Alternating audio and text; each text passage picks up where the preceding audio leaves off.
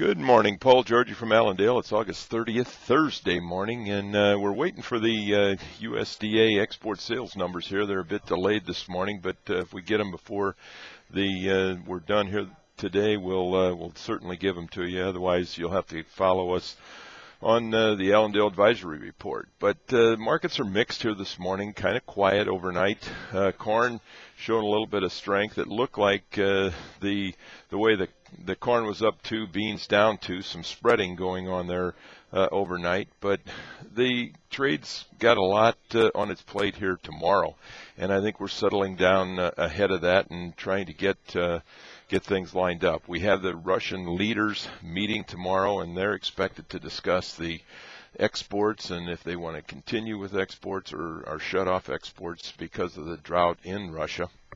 That's going to be a factor that uh, we may get some information on tomorrow. We've also got uh, the Fed Chairman uh, Bernanke speaking in Jackson Hole, Wyoming tomorrow morning.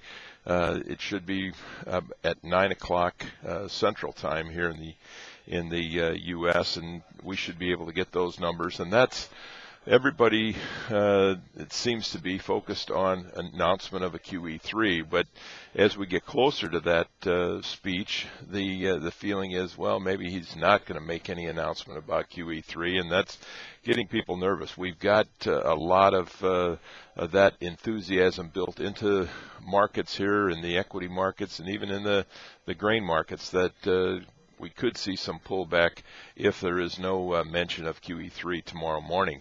Uh, we're also getting some uh, economic data uh, out of the uh, Japan this morning. Uh, their retail sales slowed, showing a further slowing of global economies. China's economy is continuing to give us data that is not supportive and not suggesting that they're ready to to bounce back. So those are facts that uh, are affecting the uh, the outside markets and also the psychology of trading. Uh, the grain markets yesterday, with the big rally that we've seen in corn and beans and wheat, uh, open interest went down, which means that uh, people were getting out of positions rather than building positions on that rally.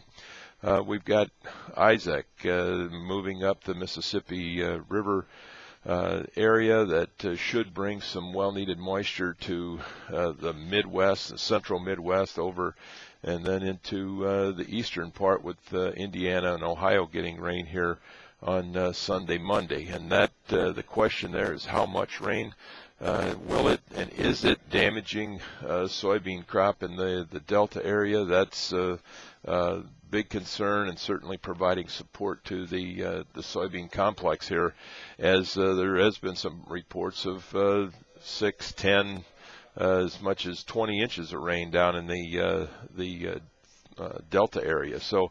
Uh, through the Midwest, anywhere from two to four inches is uh, what is expected at, at this point in time.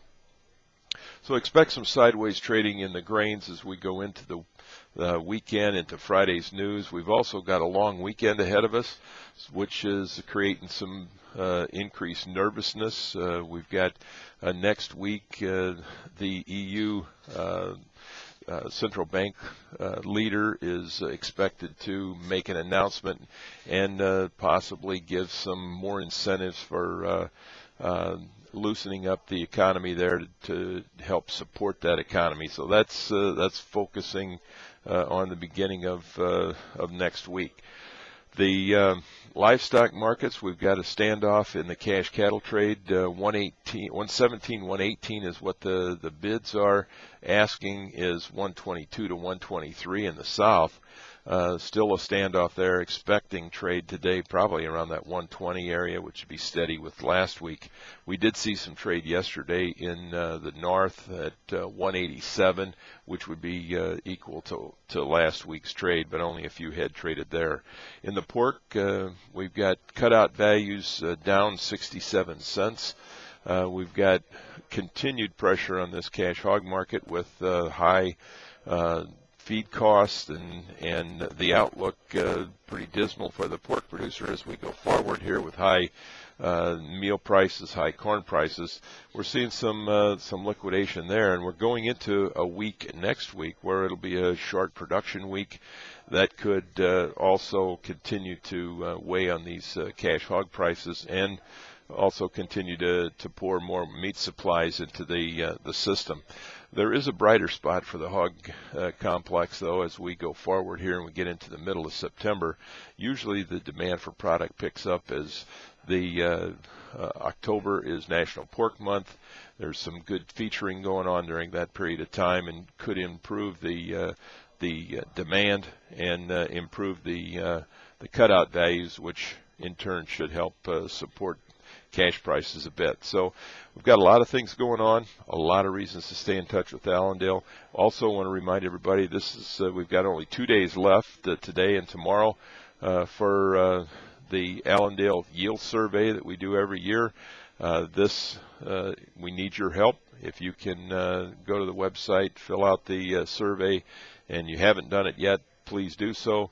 Uh, if you don't want to do that, just give us a call. You can call us at 800-262-7538, and we'll we'll work through the survey with you and uh, get the information in our uh, in our database, and we'll have all these numbers for you on Tuesday. So uh, when we come back from the holiday, we'll give you the uh, the survey results.